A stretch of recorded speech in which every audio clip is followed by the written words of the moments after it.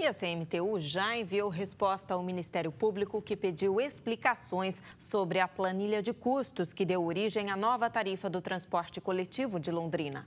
A resposta ao promotor dos direitos do consumidor, Miguel Sogaiar, foi enviada ainda na manhã desta terça-feira. O presidente da CMTU, José Carlos Bruno, encarou a medida como rotineira. Eu acho para que aprofunde ah, os estudos, os auditores deles tenham condições de aprofundar ah, aquilo que nós definimos através da planilha. É uma questão de prática comum, rotineira, de cuidados administrativos que deve é, ser feita por todos. No caso, é uma obrigação do Ministério Público, mas também é uma obrigação da CMTU, como uma obrigação da Prefeitura. E acho que nós não temos nada, absolutamente nada contra isso, é uma prática saudável, transparente e deve ser feita assim, exatamente assim. Um relatório com os itens que compõem o preço da tarifa do transporte coletivo já havia sido enviado ao Ministério Público no dia 22 de dezembro. Após o novo valor entrar em vigor no dia 1 de janeiro, o promotor Miguel Sogaiar pediu novos esclarecimentos, mas desta vez com relação ao subsídio do município pago às empresas em benefício aos estudantes, que seria mais alto que o valor da própria tarifa. Na verdade, eu não entendi eh, essa notificação. Nesse trecho, está escrito na notificação que eu recebi, eu também não consegui entender. E oito centavos foram retirados porque são componentes de políticas públicas adotadas pelo prefeito Kiref, pela decisão da política pública de prestigiar os estudantes. O presidente da CMTU também falou sobre o anúncio das empresas do transporte coletivo que iriam à justiça para questionar a metodologia, alegando desequilíbrio econômico. Eu acho que é uma posição legítima do sindicato.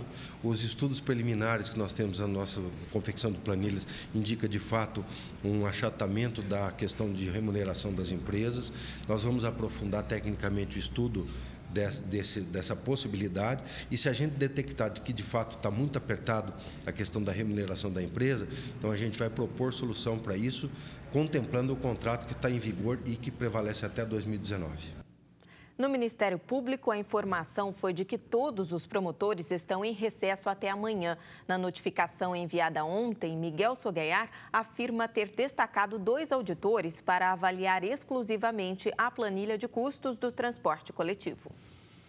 Bom, o que, que a gente pode dizer?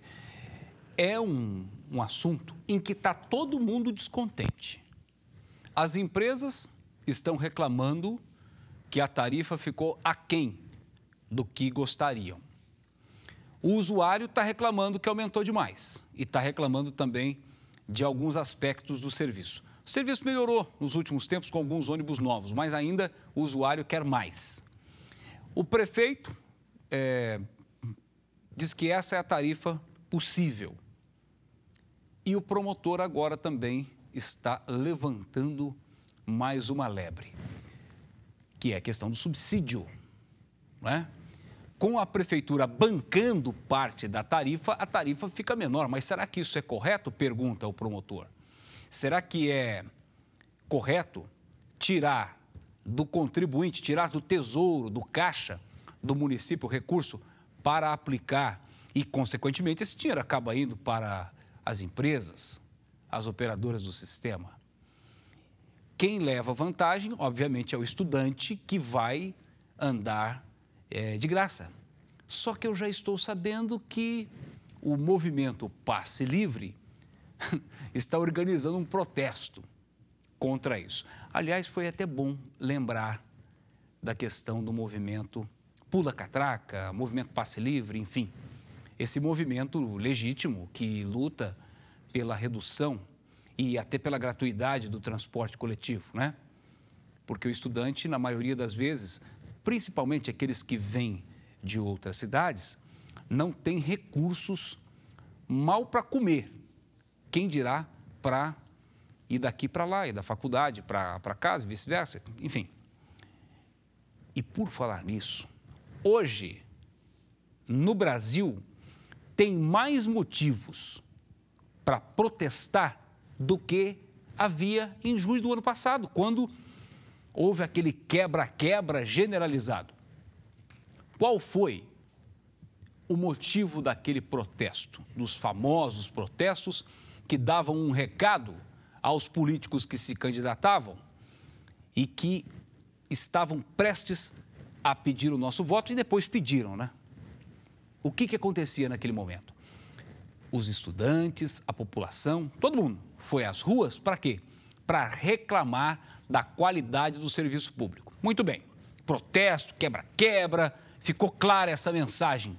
Todos os analistas diziam isso. O povo está insatisfeito com a qualidade do serviço público, na saúde, na educação, no transporte, em tudo, na segurança. Aí o que, que aconteceu? Elegeram a Dilma. Elegeram a Dilma e acho que aplaudiram, porque depois que ela ganhou a eleição, aumentou o, os preços dos combustíveis, anunciou um arroxo, anunciou cortes de benefícios consagrados ao trabalhador, seguro-desemprego, reduzindo uma série de benefícios. Não é?